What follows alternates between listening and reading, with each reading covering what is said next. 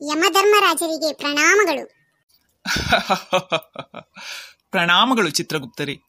ಏನು ನಿಮ್ಮ ಕೈಯಲ್ಲಿ ಆಟಿಕೆಯನ್ನು ತಂದಿದ್ದೀರಿ? ಎಲ್ಲಿದೆ ನಿಮ್ಮ ಲೆಕ್ಕಾಚಾರದ ಪುಸ್ತಕ?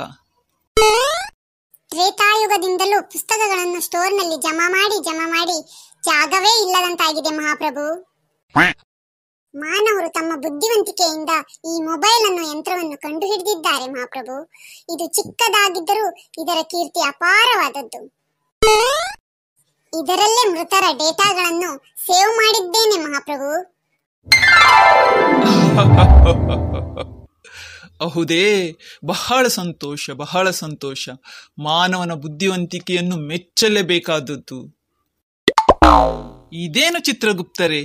ನಿಮ್ಮ ತಲೆಯ ಮೇಲೆ ನಿಂಬೆಹಣ್ಣುಗಳು ಇದು ನಿಂಬೆಹಣ್ಣುಗಳಲ್ಲ ಪ್ರಭು. ಭೂಲೋಕದಲ್ಲಿ ಮಳೆಗಾಲವಾದ್ದರಿಂದ ಮಾನವರು ಎಷ್ಟೇ ಎತ್ತರದ ಪ್ರದೇಶದಲ್ಲಿ ಎಂಟಿನವನ್ನು ಹಾಕಿಸಿಕೊಂಡರೂ ಸಿಗ್ನಲ್ ಸಿಕ್ಕುವುದಿಲ್ಲ. ಅಲ್ಲಿಯೇ ಸಿಗದ ಸಿಗ್ನಲ್ ಇಲ್ಲಿಯವರೆಗೂ ಸಿಕ್ಕಿತೇ. ಅದ ಕಾರಣ ಇಲ್ಲಿಯೂ ನೆಟ್ವರ್ಕ್ ಪ್ರಾಬ್ಲಮ್ ಆಗದಿರಲೆಂದು ಎಂಟಿನವನ್ನು ತಲೆಯ ಮೇಲೆ ಸಿಕ್ಕಿಸಿಕೊಂಡೆ ಮಹಾಪ್ರಭು. ಬಲ ಬಲ ಚಿತ್ರಗುಪ್ತ, ಕಾಲಕಾಲಕ್ಕೆ ನೀವು ಕೂಡ ಮಾನವರಂತೆ ಅಪ್ಡೇಟ್ ಆಗುತ್ತಿದ್ದೀರಿ.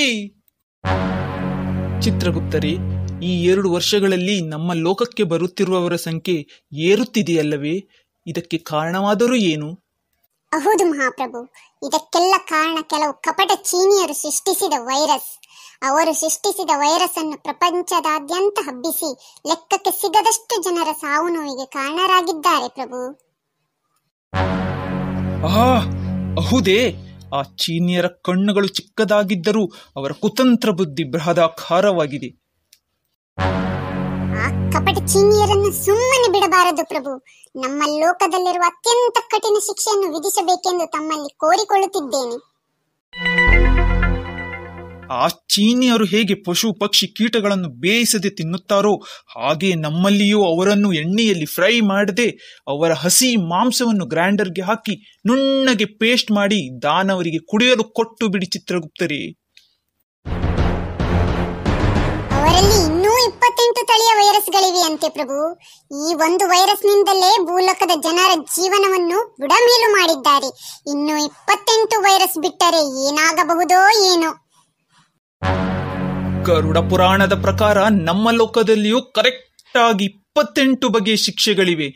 ಆ ಕಪಟಿಗಳಿಗೂ ಇಪ್ಪತ್ತೆಂಟು ಬಗೆಯ ಶಿಕ್ಷೆಗಳನ್ನು ಒಟ್ಟಿಗೆ ಕೊಟ್ಟರಾಯಿತು ಬಿಡಿ. ಸಮಯವಾಯಿತು ಚಿತ್ರಗುಪ್ತರೆ, ಮೊದಲನೇ ಮೃತರನ್ನು ಕರೆದು ತನ್ನಿ.